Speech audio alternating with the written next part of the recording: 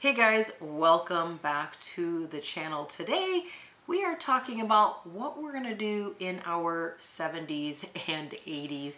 And we are 50 and 51 currently, it's 2024. And we get this question a lot of what are we going to do later on? Yeah, I think we get this because it stems out of people being a little bit afraid for us that we've left uh, America, we've left our home base, and how are we going to ever recover from that? And so we wanted to address that today because we have given it a lot of thought and there's some pretty easy answers and it's also some answers that maybe most people have never thought about that have occurred to us as we've been doing this. And the first part of this is that if you give up your home base, which we are from Atlanta, Georgia, we had a 3,000 square foot house there that we had with our kids. They went off to college, went off to their own life. So we sold the house and gave up that base. We were going to be downsizing anyway. So once we sold it, we just decided uh, to travel. But if you give up that home base, you can get it back as quickly as you left it. Uh, and you'll have the option to go back to the same place you left or to pick a totally new one.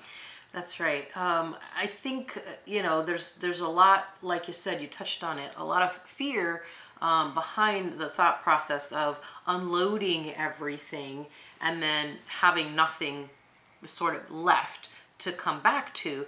And I think that's where this question I think stems out of a lot is people are really concerned like well you you don't have anything left to come back for. Like what are you gonna do and you got kids here? And um, you know I, I think that's that's what we're kind of the angle we're coming at it from. Yeah and so to give you an idea you know and, and you know this if you think about it is that we had our kids uh, left college and needed to get an apartment um, most parents or a lot of parents co-sign on that first apartment we actually flew back to the us and went apartment hunting with one of our kids, co-signed on that apartment, took a day to look at apartments. Next day, we had a lease for them. And that's the same thing we could do for ourselves. We could fly back in two or three days from now and have a lease before the end of the week was up. So there really is no problem with uh, not having a base because we could even go right back to the same area that we lived in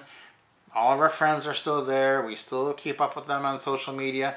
We could slide exactly right back into the same life. We could pick a totally new area. We could go live by some other family members that we haven't seen in quite some time. Uh, so there really just isn't a problem with that. You could also buy a house, or if you needed to, you could go back into a, a long-term care facility. You just do still have all those same options that you had before uh, when you actually sold your house the first time. Yeah, I think that's that's the cool thing is that there are so many options of things that you can do. You don't have, you know, the house, the car, and all that stuff, but you do have a lot of options. You do have flexibility.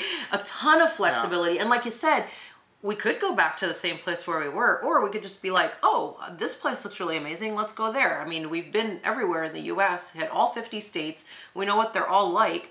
What if we just are like, oh, this place was really beautiful, loved it when we were there. Maybe we should move there. Look for a place there. And like you said, in a few days at the most, a week, we could be into an apartment with no problem. Yeah, we've always wanted to spend time in San Diego uh, because of the weather. And, you know, now we have a child in California, so that we could just go do that if we wanted.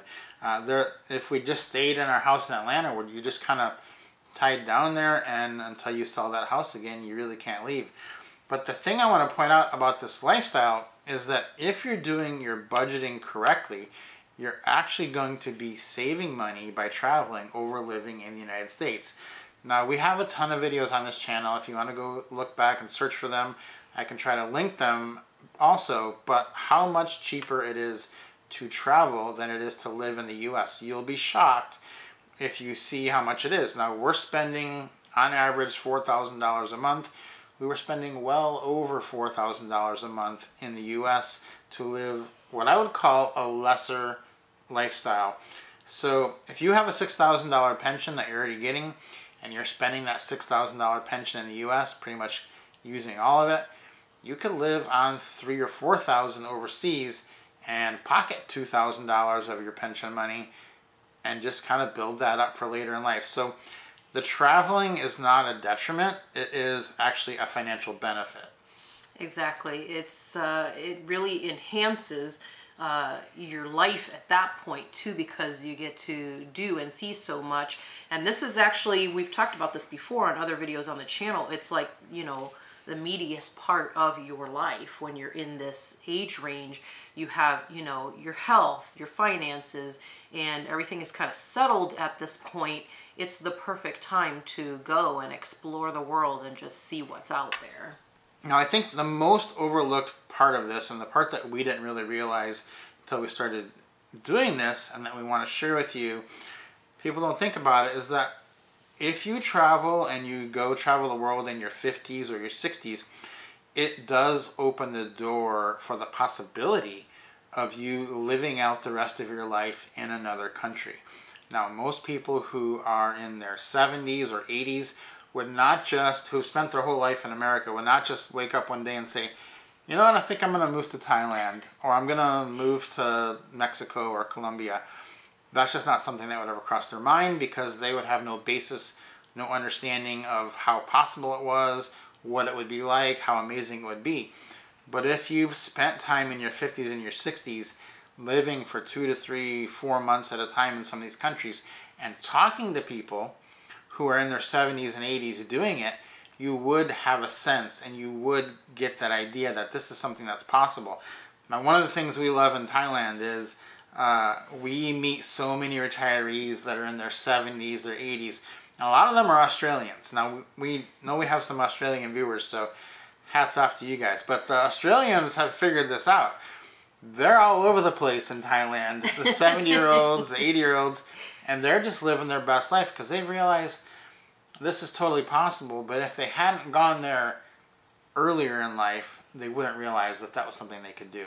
Yeah, and I think the really even cooler thing is that the money that you would have spent on, say, you know, being in a care facility in the US is going to go so much farther for you in some of these places like Thailand that my goodness, you could get elite care in some of these other countries for just a fraction of what you would be paying for at mm-hmm. home. It's it's really just phenomenal. And I think that's really the the meaty part of this whole thing is that if you're out here traveling and seeing what the situation is in these countries, you really get a feel for, you know, what it's like for when you're older too. You'll encounter people of all different ages and see what it's like for them, what's available, and you will be literally blown away by what is available to you in a lot of places outside of the U.S. Yeah, we were sitting in a resort pool this last year uh, in Thailand and talking to some people. People are people are friendly, you know. They they can see you speak English, they're gonna come up. So Australians always talk to us, and so saying, well, what are you what are you doing uh, here? And they're like, well, we just bought a, a condo. We just bought one of these condos. I think they paid sixty three thousand dollars for the condo. They were just gonna live there, and uh, I said, well, what about Australia? They said can go back if we want to, but we have no need to. This is where we decided we want to just live out our life. Their kids come and visit them there, and and everything is just fine. So that's a decision that you can only make if you've tried it out extensively. And we've already found through our travels two or three places that we would be happy doing that. Now, that doesn't mean we will decide to do that. That's going to depend on a lot of factors. But we've given ourselves that option. So now we have the option of going back to the U.S., going to Thailand, going to Mexico, going to Colombia, going any of these places. Whereas before we did this, we only had the choice of staying in the U.S. because that's all we knew. That's the only thing that would have made any sense at all mm-hmm. to us. Yeah, and not only that, but you have multiple options in each of these places including the US, just like you have multiple options there of living on your own or, you know, buying a house, buying a condo, living in a facility, whatever, you have all of those same options in these other places and more. that you don't you couldn't even think about affording in the US. You have more options in these places um, that are incredibly affordable. So the natural progression of the lifestyle for people is generally speaking, you know, buy a large home, get your dream home with your family, then eventually you're going to downsize that, and then eventually you're going to go into some type of assisted living type situation all that we've done in this lifestyle is replace the downsize section with travel. And in doing so, we've given ourselves more options, both financially and geographically, for that last stage of life, which is going to benefit us greatly. So, a lot of people look at what we've done and they, they, they look at it from the sense of, oh, you've lost your home base. But really, we haven't lost anything. We've kept our home base. We could go back to that as much as we, as quickly as we wanted, but we've gained a whole wealth of, of opportunities that we could determine. Now, we don't know what we're going to do. We, we really have no idea. And that's the great thing. Time will tell. Life will tell. Life will help us make that decision. But we know for a fact that we have way more choices now than we did five or six years ago when we thought about this question. Yeah, absolutely. And that's the thing about it is that uh, we didn't essentially skip the downsize size section. We just took it on a field trip around the world. Mm-hmm. we downsized into hotel rooms and Airbnbs and, you know, uh, small apartments and, and whatnot. Yeah, we downsized considerably from where we were, but it's on the road. We took it on the road and we're testing it out everywhere that we go. And like you said, we don't know what our situation will be down the road. And of course, you know, as we're 50 and 51, like I said earlier, you know, obviously we don't have grandkids yet. We don't know what that's going to look like. We don't know what anything is going to look like. So we just kind of play it by ear. It doesn't have to be planned out, but we do have some options. Not some, a lot of options. A lot of options.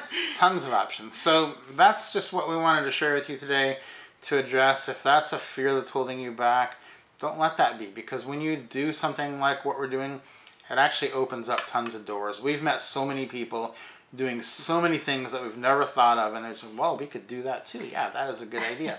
uh, so it's just going to open up possibilities for you which really is what you're after. You don't want to get kind of boxed in. Uh, we've seen a lot of people that do get boxed in and then they become unhappy with that box that they're in. So go ahead and look what's out there. It's a big world and there's a ton of opportunities in it. Yeah, guys, I know you've got a questions brewing, leave those down in the comments. We can have a conversation uh, in the comments section. Uh, do not forget to subscribe to the channel. Give us a like and we will see you next time.